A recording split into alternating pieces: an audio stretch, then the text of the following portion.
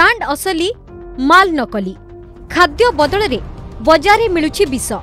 ଖାଦ୍ୟ ସାମଗ୍ରୀରେ ଅପମିଶ୍ରଣ। ବ୍ରହ୍ମପୁରରେ ସାତ ଦିନରେ ଦଶ ନକଲି କାରଖାନା ଠାବ। ବାହାରୁ ଚକାଚକ୍ ଦିଶୁଥିବା ଏ ଡବାରେ ରହିଛି ବିଷ। ଖାଦ୍ୟ ସାମଗ୍ରୀ ବଦଳରେ ବଜାରରେ ବିକ୍ରି ହେଉଛି ଜହର। କଟକ ଭୁବନେଶ୍ୱର ବଲାଙ୍ଗୀର ସମ୍ବଲପୁର ପରେ ଏବେ ବ୍ରହ୍ମପୁରରେ ନକଲି କାରଖାନା ଠାବ। ନକଲି ଖାଦ୍ୟ ସାମଗ୍ରୀର ହବ୍ ପାଲଟିଛି ପୁରା ସହର।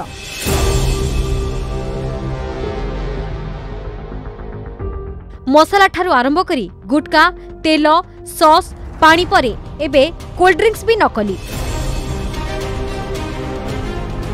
ସାତ ଦିନରେ ଦଶଟି ନକଲି କାରଖାନା ଠାବ ହୋଇଥିବା ବେଳେ ସାତ ଜଣ ଗିରଫ ହୋଇଛନ୍ତି। ନାମୀ ଦାମୀ ବ୍ରାଣ୍ଡର ଷ୍ଟିକର ଲଗାଇ ବଜାରକୁ ଛାଡୁଛନ୍ତି ମାଲ।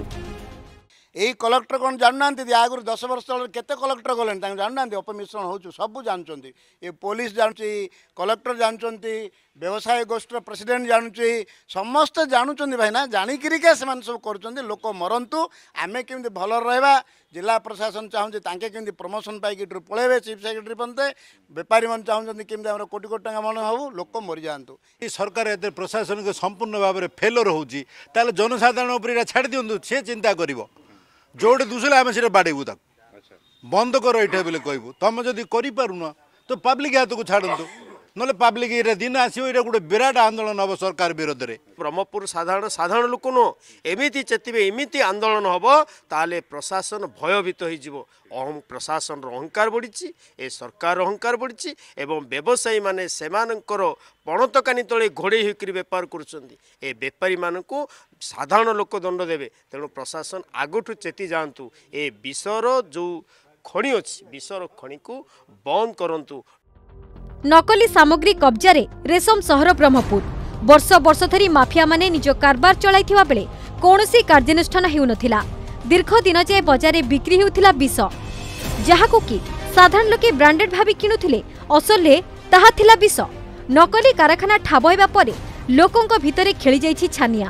ବ୍ରହ୍ମପୁର ମହାନଗର ନିଗମ ଓ ପୋଲିସ ପକ୍ଷରୁ କଡ଼ା ପଦକ୍ଷେପ ନିଆ ନଗଲେ ଆଗାମୀ ଦିନରେ ଆନ୍ଦୋଳନକୁ ଓହ୍ଲାଇବେ ବୋଲି ଚେତାବନୀ ଦେଇଛନ୍ତି ସ୍ଥାନୀୟ ଲୋକେ। ମାର୍କେଟ ଉପରେ ବର୍ତ୍ତମାନ ଯେଉଁ ବିଶ୍ୱାସ ଥିଲା ବର୍ତ୍ତମାନ ଆଉ ବିଶ୍ୱାସ ଲାଗୁନି। କାହିଁକି? କଟକ ଭୁବନେଶ୍ୱର ପରେ ବର୍ତ୍ତମାନ ବ୍ରହ୍ମପୁରର ଯେଉଁ ଟାଇପ୍ର ଜିନିଷ ଆମେ ଦେଖିଲେଣି ଏ ଭିତରେ ଚେର କେଉଁ ପର୍ଯ୍ୟନ୍ତ ଲମ୍ବିଛି ସେ ବି କଳନା କରିହେବନି। କାହିଁକି ଚେର ନିଶ୍ଚିତ ଭାବରେ ଆହୁରି ଗଭୀର ଭିତରେ ଅଛି। ତେଣୁ ବର୍ତ୍ତମାନ ପ୍ରଶାସନ ଏବଂ ସଂଯୁକ୍ତ ଡିପାର୍ଟମେଣ୍ଟ ୟା ଭିତରେ ଅନୁସନ୍ଧାନ କରିକି ସେ ଚେରକୁ ତାଡ଼ିବାକୁ ମୂଳୋତ୍ପାଟନ କରିବାକୁ ପଡ଼ିବ ବିଏମ୍ସିରେ ଆମର ଅଲରେଡ଼ି ଗୋଟେ ଟିମ୍ ଅଛି ଫୁଡ୍ ଅଫିସର ଏବଂ ତାଙ୍କର ଷ୍ଟାଫ୍ ମିଶିକି ଏବେ ହେଲ୍ଥ ଅଫିସର ତାଙ୍କ ଷ୍ଟାଫ୍ ମିଶିକି ମଧ୍ୟ ଟିମ୍ ଅଛି ଆଗାମୀ ଦିନରେ ଏହାକୁ ଆମେ ଅକାଡ଼ାକଡ଼ି ଭାବେ କରିବୁ ଏଇଟା କଣ୍ଟିନ୍ୟୁସ୍ ଆକ୍ଟିଭିଟି ଏବେ ବି ଚାଲିଛି ଆଗାମୀ ଦିନରେ ମଧ୍ୟ ଚାଲିବ ବିଷ ବଜାରକୁ ନେଇ ବଢ଼ିଲାଣି ଚିନ୍ତା ଏତେ ଦିନ ହେଲା କିଭଳି ଜାଣିପାରୁନଥିଲା ପୋଲିସ କାହିଁକି ବର୍ଷ ବର୍ଷ ଧରି ହେଉନଥିଲା ଚଢ଼ାଉ ନକଲି ସାମ୍ରାଜ୍ୟର ଚେର କେଉଁ ଯାଏଁ ଲମ୍ବିଛି ତାହା ଏବେ ପ୍ରଶ୍ନଚିହ୍ନ ସୃଷ୍ଟି କରିଛି ବ୍ରହ୍ମପୁରରୁ ପୀତାମ୍ବର ନାହକଙ୍କ ରିପୋର୍ଟ ଅର୍ଗସ୍ ନ୍ୟୁଜ୍। ଏବେ ନିଜ ମୋବାଇଲରେ ଅର୍ଗସ୍ ନ୍ୟୁଜ୍ର ଆପ୍ ମାଧ୍ୟମରେ ଆପଣ ଦେଖିପାରିବେ ଲାଟେଷ୍ଟ ଅପଡେଟ୍ସ ଆଉ ଲାଇଭ୍ ଗୁଗଲ ପ୍ଲେ ଷ୍ଟୋର କିମ୍ବା ଆପଲ୍ ଆପ୍ ଷ୍ଟୋର ଆଜି ହିଁ ଡାଉନଲୋଡ୍ କରନ୍ତୁ ଅର୍ଗସ୍ ନ୍ୟୁଜ୍ ଆପ୍। ଇନଷ୍ଟଲ କରନ୍ତୁ ନିଜ ମୋବାଇଲରେ। ବାସ୍ ଖବର ଏବେ ଆପଣଙ୍କ ହାତ ପାହାନ୍ତାରେ।